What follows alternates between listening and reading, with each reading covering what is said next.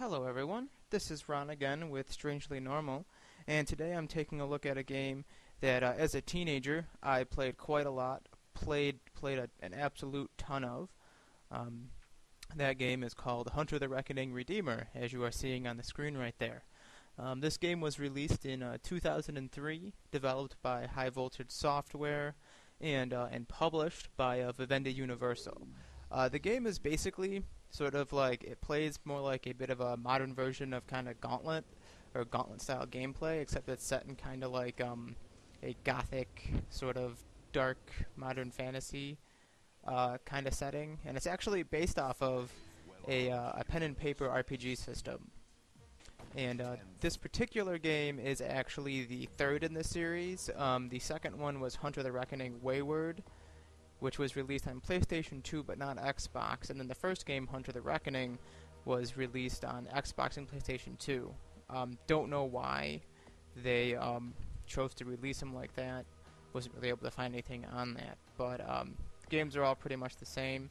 Uh, you run around and you run around in a top-down kind of perspective. You shoot stuff. You you hack stuff apart, as you'll be seeing shortly. Um, I'm going to jump into a game that I already have in pro in progress.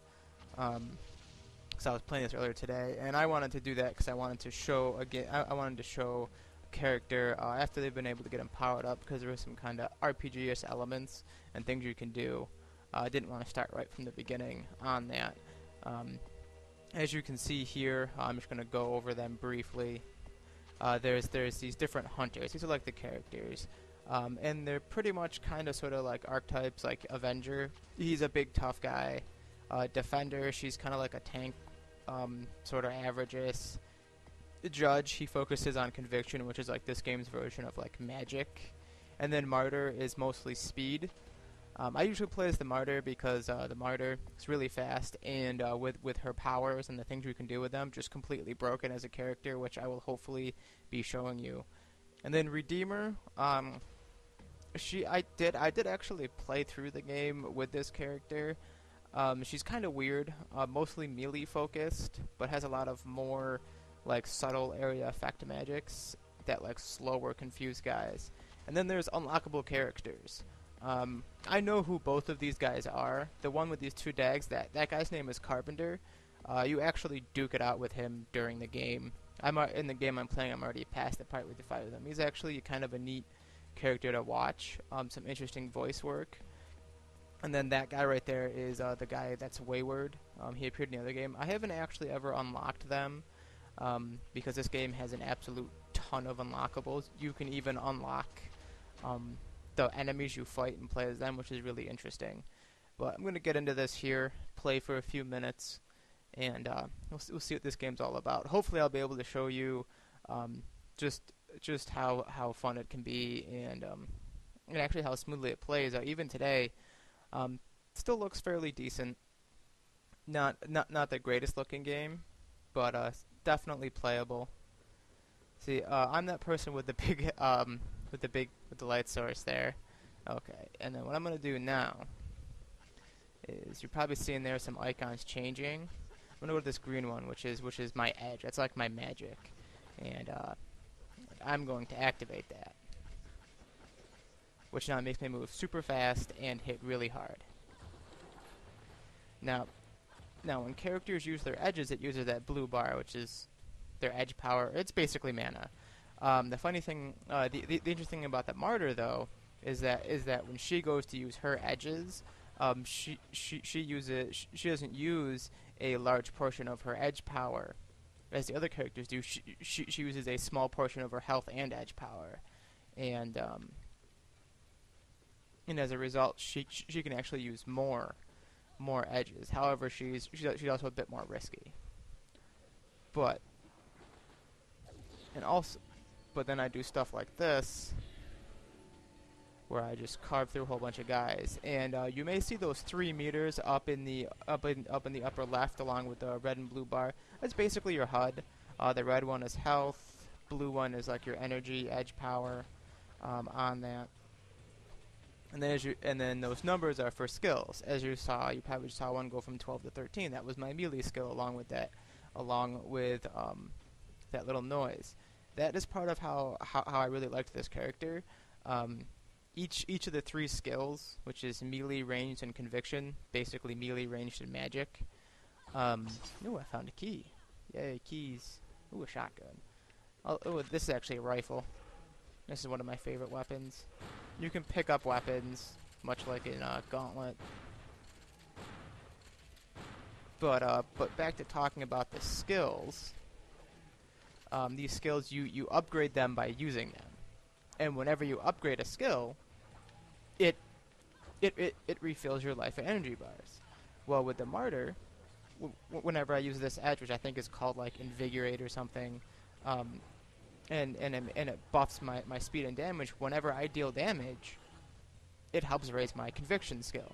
So it makes it super easy for uh, the martyr to just crank out tons of damage really fast and gain tons of levels really fast and never really have to worry about their health if you know what you're doing. Um, um, the, when, when I played this game, I picked up this character because I had played some of the previous ones, and I had really enjoyed um, just the martyr just for the speed. But in this game, um, once once I realized the things that I could do and just how ridiculously overpowered I could be by just using the game's mechanics like that, um, it was it was incredible just how quickly I like tore through the game with this character. Um, I have beaten it with the other characters, and the other characters do actually stack. The other characters do have ways to make them and make them be just as powerful as as the martyr. At least at, when when it's used like that, it's just they tend to work a little bit differently. The martyrs one, um, I always liked because I kind of found it out, and uh, and it was just really easy to integrate into um, playing with her. Yeah, here all those all in this section, you probably saw that little blurb. In this section, uh, what we're what I'm doing is I have to blow up those red canisters because uh, they have this toxin that's mutating people, and I have to stop it. Um, let's see. I think I'm gonna break out some gunplay here. This is actually a weapon you find. Every every character does have um, both basic melee weapons that, that have actually various combos. Um, you don't really need to know most of them. Most of them it's just stuff like that which is just you hold down right trigger, and then when it stops, you let it go, and it finishes it. And then you have basic range weapons. Uh, the the melee and ranged weapons do vary based on character. This this this person this person has uh, dual pistols and what looks like those like big knives, axes kind of things. One of them has a revolver, another one has a rifle, um, another one has, and then one of them has a sawed-off double barrel, and another one also has a crossbow but but they can all pick up various guns to use that have ammo. And I'm going to use this one that I like, which is just a, um, a bolt action rifle, and uh, I really like it. Um, it has a lot of it, it has it has a nice damage and a good range on it.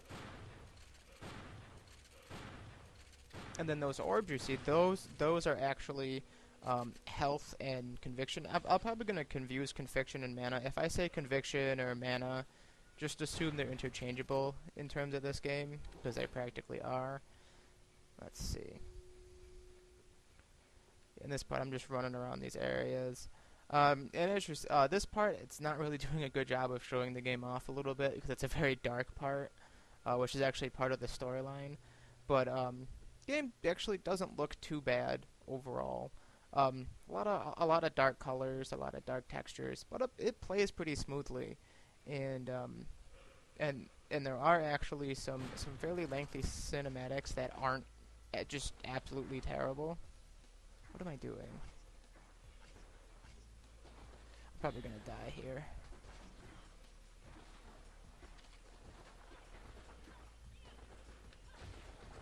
Okay, come on. There we go. No, I got it. Too busy talking, not in the game. Okay, let me just switch back here.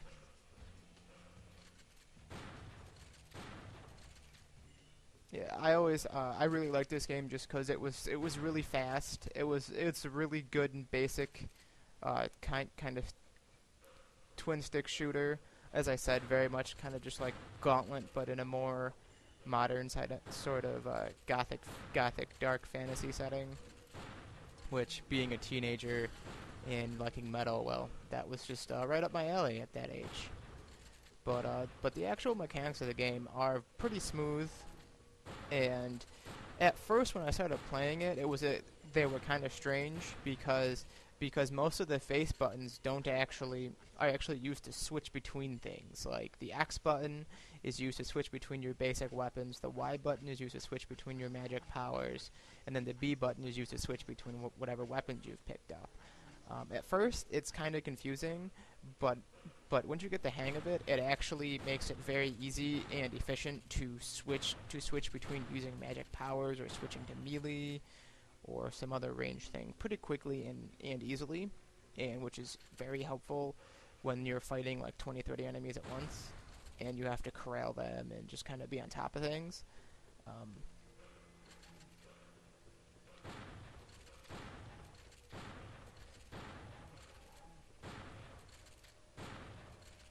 Yeah, those spirits right there, they can actually, um, I think I may have passed the part where it shows up, but they can actually, like, possess humans. And, um, and then, and then you have to pick up, like, like some type of ammo to shoot the humans with, um, to turn them back to normal. Or you can just kill the humans, it's really up to you on that one. I think there's a flamethrower over here, I'll grab that. There we go. Flamethrower is not bad. I mean, it works, but I tend to prefer shotguns and machine guns overall. Ooh, a flare gun. And then there's just various weapons. Flare guns, um, to be honest, they're probably kind of useless. Um, the only thing they're, they're really good for is against, I guess, like zombies, which only show up in a couple parts of the game. Um, let me see here. Did I did I finish this part? Oh yeah, and for some reason there is a jump button. It's on the left trigger. Um, not really used that much. Not not not many times that you absolutely need to use it. Um, I think they just kind of wanted to use that button a little bit. I mean, it works. It jumps, but uh, yeah. See, this is the flare gun. Not not very useful as a weapon. Let's switch over to the machine gun. Uh, this is actually like a bit of an upgraded machine gun, one of the better ones you can get. I kind of like this a little bit more just uh, because this game does actually have a very generous kind of auto-targeting to it. And, uh, and with like machine gun and stuff, as you can see the character just kind of pointing, I can just kind of go like that.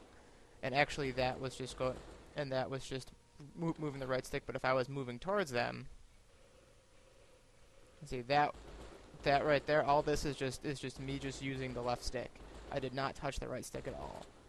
And, uh, and that's part of where this game, where, where its controls actually are really good, and part of, a large part of what makes it still fun and still good to play because it's actually not very hard to just pick it up and start doing stuff. Um, and and their controls, like I said, at first they may seem a little bit confusing with how you're switching between so many things and using their right trigger to do so many things, but it actually does flow pretty nicely once you get the hang of it. And and it's usually and it's actually usually pretty simple to just kind of go between powers on that. And just keep and just and just kind of keep a nice little flow to your actions, which you know in in, in, any sort of gauntlet type game or or game that's kind of like that's just an action paced game like this. That kind of flow can be very important. Okay do... Let's go over here. I'm to see if I can finish this level out. And then I think uh, after that I'll probably call it. Um, well, let's see how this level goes. Maybe a bit of a longer one. Sometimes these levels... Oh, here we go. Possessed humans. Just what I was talking about. No, I need to find holy ammo. Keys...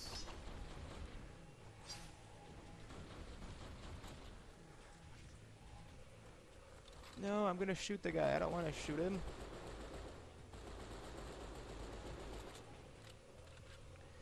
Yes, that's right, folks. I am shooting a ghost with an assault rifle. And it's hurting it, too. Ain't that awesome? I want more games where I do that. I don't I don't care if it's not supposed to make sense. I want to shoot ghosts with assault rifles.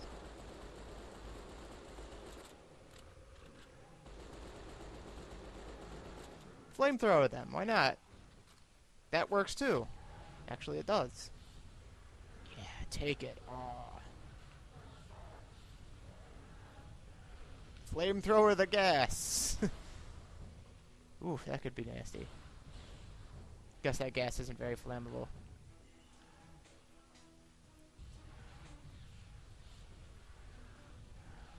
Oh yeah, can't forget the music. Which goes from like making sense to strange. Um, and seems to be triggered when that whenever there's a lot of enemies around. Oh no, smoke bombs. Guy doing thing. He buffs his. He, oh yeah, there's some enemies who can buff other enemies. I just set them on fire. It's easier. Holy ammo. And this is what it looks like.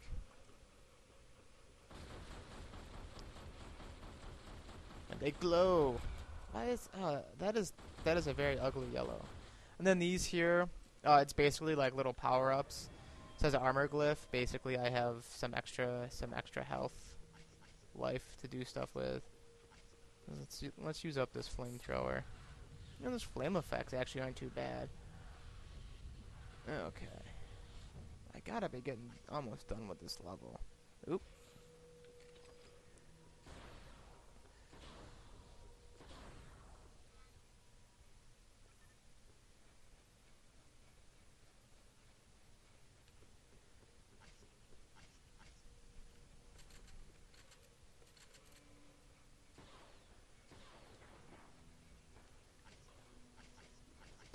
See, right now I'm actually trying to do something. Because see, those guys with the shield, they of course stop um, any ranged attacks and they rotate to face you. But that one edge I use, it's called like Burden or something, basically just paralyzes them. Um, hey, rocket launcher. I can always do with some rockets to the face of people. Did I just... What did I just do there? That was pretty cool. Okay. I know I've got to be done with this. There just can't be too much left. Is, there a whole nother one? Jeez, wow. Getting a little bit repetitive at this point. But, you know, it moves along at a nice pace. It's not like... It's not like they just have you sit somewhere. You know, you're on the move, you're doing stuff. Okay, let's switch back to melee.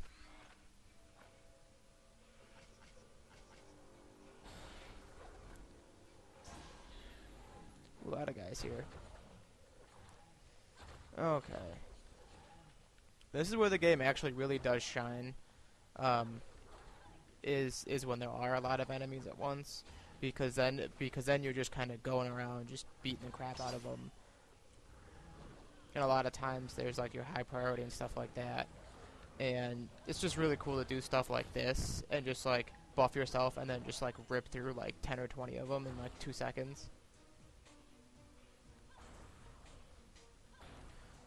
Blown up more gas canisters.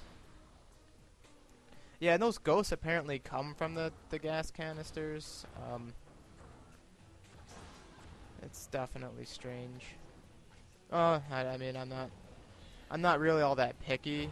Um, in fact, in fact, they never really actually explain where those ghosts come from in the course of the game, um, or at least why they come from the gas. They just do. It, in fact, all you're ever told is the toxin is reacting strangely, and then the ghost show up and possesses a guy. Okay, did I see another ghost? Alright, probably not. Alright, let's let's finish this off. This has got to be getting close to being finished here.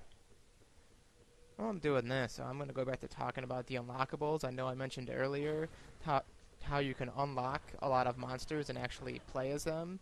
And one of the monsters you can unlock is those soldier guys. Um, and they have all their moves that they have when they're when they're fighting you. It's kind of interesting. There's also like vampires. They are just like these like female vampires. They're actually pretty neat. And there's, and there's even some like enemies that like kind of like joke enemies. Like like these guys that I'm fighting right here. You you can unlock the ability to play as them. There's also zombies. Uh, playing as a zombie is hilarious because uh, you just die like right away. Um, and then there are also some other hidden characters as well, uh, other than the ones that I showed you. Uh, there's also a werewolf that you can play as. Um, he's pretty cool. I messed around with him, and um, and a lot of other stuff, mostly like concept art, things like that. Um, you know, I wonder exactly how many people avoid gunfire being attacked by just running in figure eights.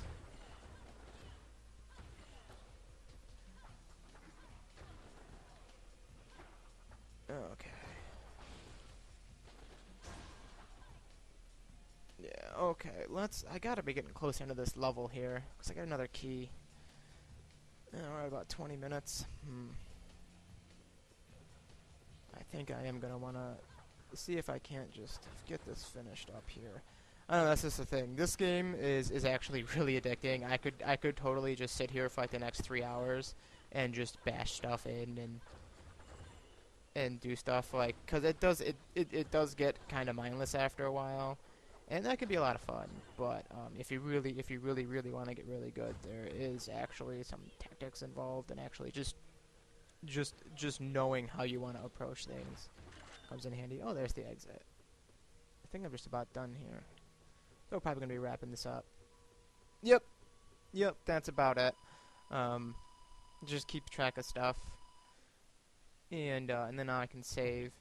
Um, I would totally love it if this game were to be actually released on Xbox Live, or to kind of come back. Um, I know since since this game has come out, there's been a lot of this sort of twin stick shooters and stuff, especially in the area of zombies, which I do love, but I, I'm willing to admit it's been kind of saturated. Uh, this game, um, I think I think with the setting, it's at least it's at least unique enough that I could see it get, get, getting some potential, and believe it or not, it does actually work. Um, this melee that I'm doing, or that I was doing, um, is also one of the earlier times I've seen kind of uh, analog stick-based melee. Of course, not really. You just kind of control where you're facing with it, but um, and then you use the right trigger to um, to just kind of go forward. But it actually works fairly well um, overall and there actually is a fairly deep combo system. Um, except, unfortunately, it's not really needed. Um, but overall, the game, I mean, it still plays very smoothly, um, as you're seeing. It doesn't look terrible. It's not, you know, it doesn't hold up quite as well as some other games, like, say, Death Row, for instance, but definitely looks decent enough. Um, certainly matches up to some Xbox Live games I've seen, uh, things like that. Um, and uh, and and I think this could just be a really great, just kind of like party game thing like that. All right, well, uh, that's it for this episode of uh, Strangely Normal. Uh, thank you very much for watching. Um, if you like this, please like the video. Um, tell your friends, tell your family. Any suggestions, uh, definitely feel free to send me an email at uh, strangelynormalgamer at gmail.com. Also on Twitter um, at strangelynormal with the L as a 1 on that. Um, some reason that's just the way it is. Um, thank you very much for, for once again for watching, and uh, I will and I will see all of you uh, next week.